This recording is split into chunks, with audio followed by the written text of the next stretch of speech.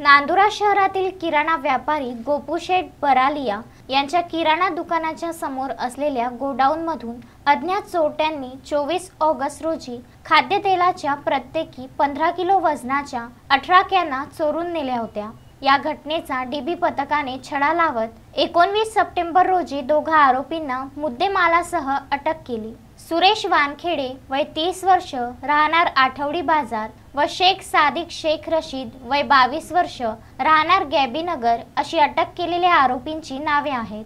याबाबत पोलीस सूत्रांकडून मिळालेल्या माहितीनुसार पोलीस स्टेशन रोडवर शहरातील किराणा व्यापारी गोपूशेठ बरालिया यांचे किराणा दुकान आहे. या दुकानाच्या समोर त्यांचे गोडाऊन आहे. त्या गोडाऊनमधून अज्ञात चोरट्यांनी अंबुजा गोल्ड कंपनीच्या सोयाबीन तेलाच्या प्रत्येकी पंधरा किलो वजनाच्या अठरा कॅना किंमत एक्केचाळीस हजार चारशे रुपये लंपास केल्या होत्या. या प्रकरणी नांदुरा पोलिसांनी अज्ञात चोरट्याविरुद्ध कलम चारशे एकसष्ट तीनशे साठ भादवीचा दाखल करून तपासाची सूत्रे डीबी पथकाचे police head constable Gajanan Jaybhay Rahul Sasane Vinayak Mankar व सलीम बर्डे यांच्याकडे सोपविली. या पथकाने या चोरीचा छडा लावत या प्रकरणी आरोपींना ताब्यात घेऊन त्यांना पोलिसी खाक्या दाखवताच आरोपींनी चोरीची कबुली दिली. तसेच आरोपी शेख सादिक शेख रशीद याचा गैबीनगर येथील घराजवळ झाडाझुडपांमध्ये चोरी केलेल्या तेलाच्या कॅना लपवून ठेवल्याचे सांगितले.